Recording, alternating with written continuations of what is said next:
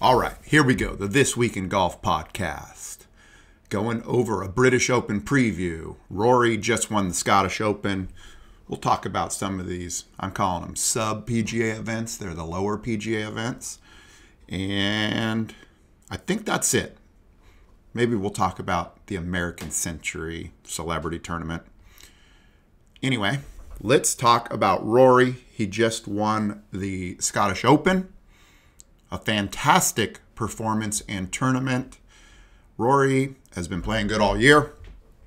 And let's give him some props, especially in the realm of, you know, not listening to all the outs, or, or I should say, winning in the face of all the outside noise.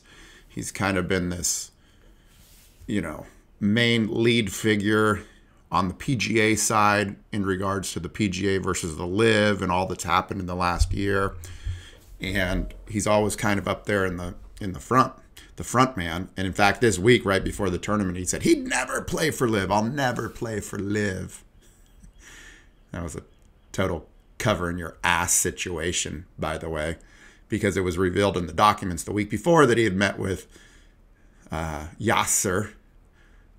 I don't know his last name, the head of LIV. Anyways, so they had met, they'd had some discussions early on. Roy was never going to join, but nonetheless, he said he'd never play for LIV, and so that's cool for him. But anyways, let's talk about that win because it was pretty darn impressive.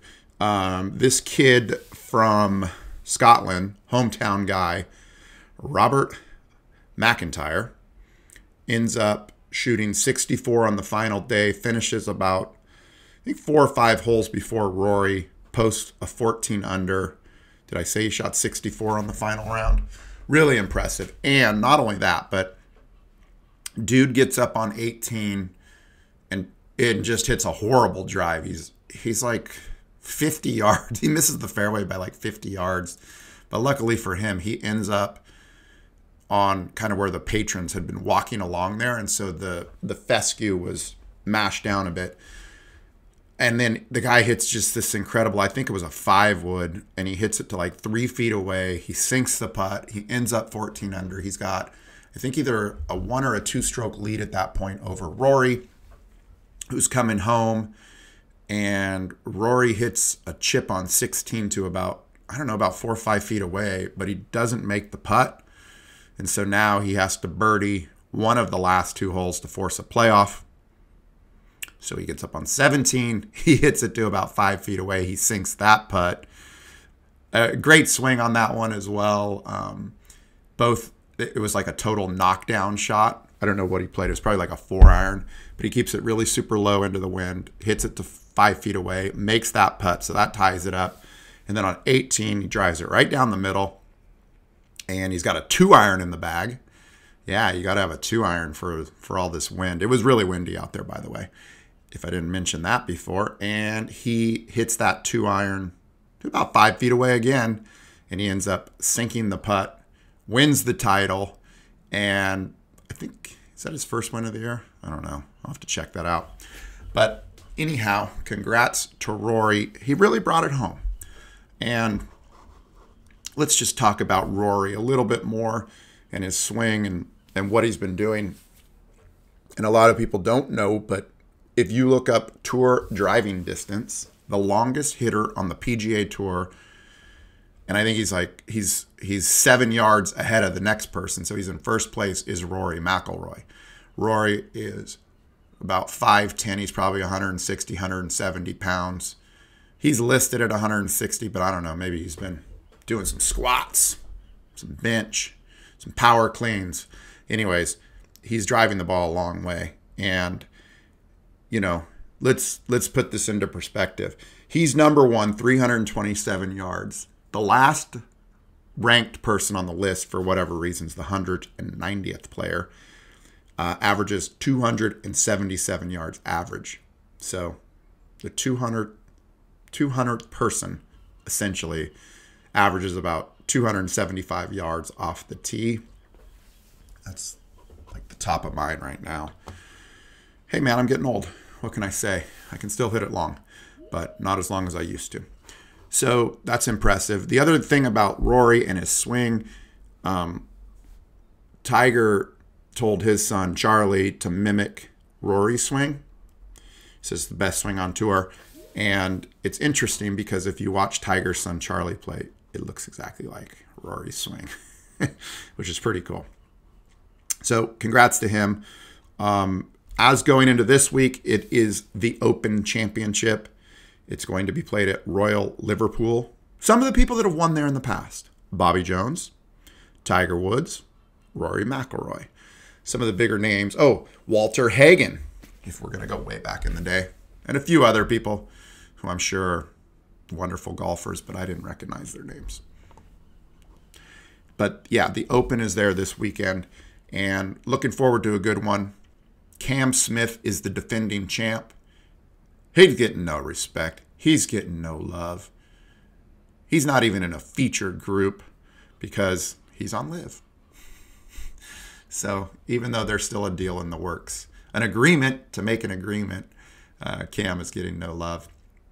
I did listen to a video from the um, the head of the R&A, and I don't have his name offhand. Should have wrote it down, but I didn't. Anyways, he was talking about um, the purses, and they asked him if he would if they would ever take on a sponsor, and he was like, "Heck yeah, we'll take on a sponsor if we can make you know the purse bigger." They would need to take on a sponsor, and they said the Saudis, and they were like, "Yeah, whatever, we'll we'll do it." So, food for thought. But anyways, yeah, coming into the tournament this weekend for the Open Championship. I don't think Rory can do it two weeks in a row, but everybody seems to like him in this mix. Cam Smith, I would give him a shot. Brooks has a shot, Koepka. And uh, I would say the guy I would pick as a dark horse, just, you know, right out of the gate, is Hovland. I like Hovland's game. I think Hovland could win this thing. So I'm just excited for a couple of reasons. One, it's the Open Championship. And then secondly, the thing I love about it the most is it's, you know, I live in California and it's over by I don't know, 10, 30, 11 in the morning.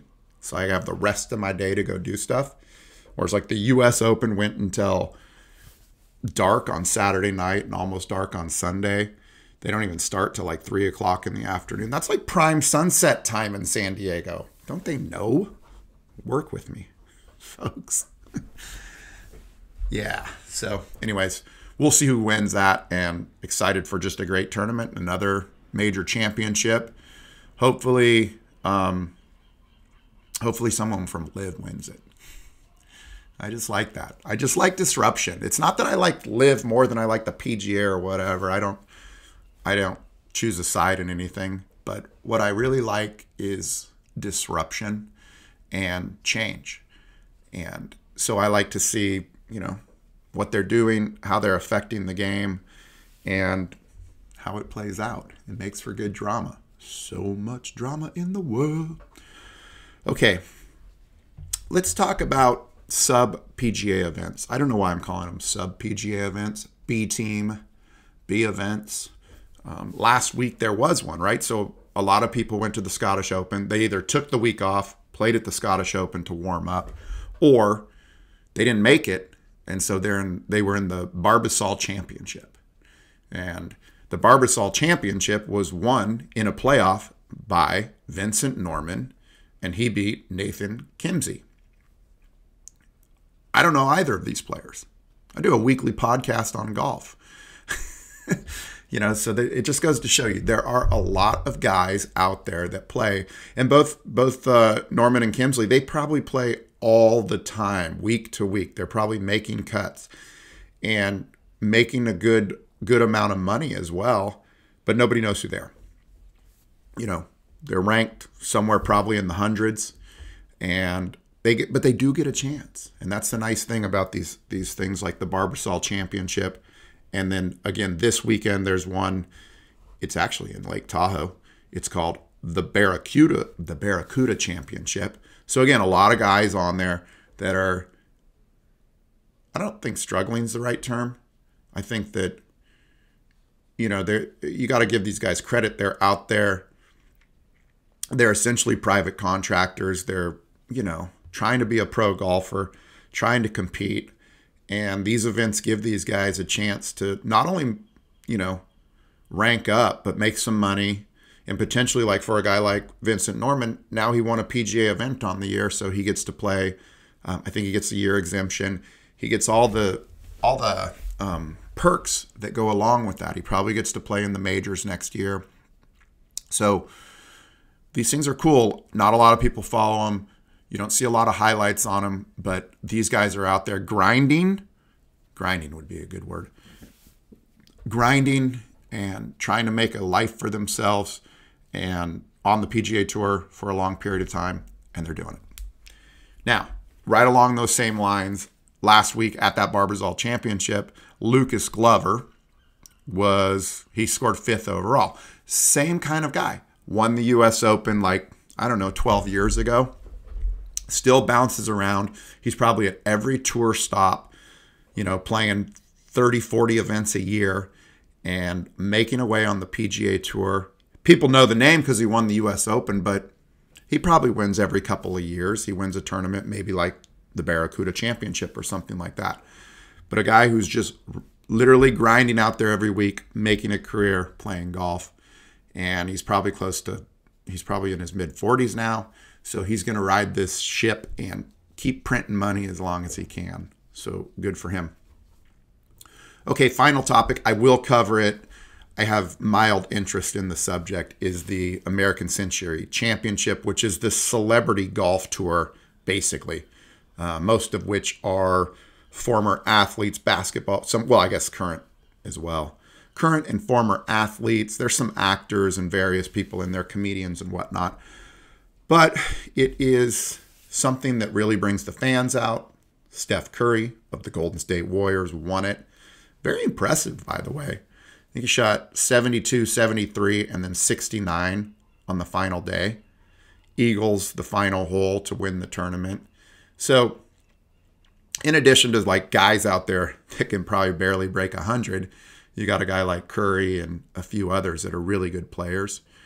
And, you know, they actually have like team events, celebrity team events. Um, there's all kinds of stuff. I guess it gets the fans out there.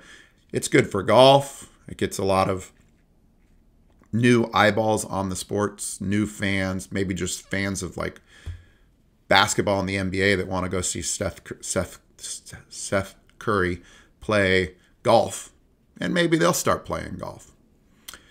Final thought on it I'm going to leave it with the Curry family. Big shout out to Dell Curry, the father of Seth and Steph Curry. And the shout out is is your names, dude. like who named these kids? You have two boys. They both play in the NBA, so they're very successful. But one is Steph and one is Seth.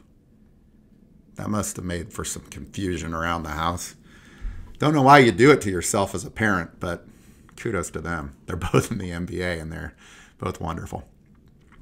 That's this week in golf. I'll talk to y'all next week. Hey, it's Jeremy Callahan, and thanks for listening to This Week in Golf.